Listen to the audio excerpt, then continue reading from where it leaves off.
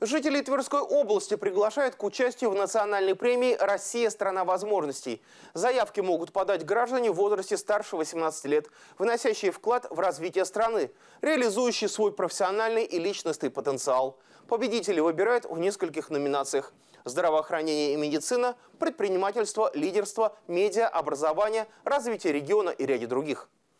Для участия необходимо зарегистрироваться на сайте проекта, изложить историю успеха, записать видеовизитку.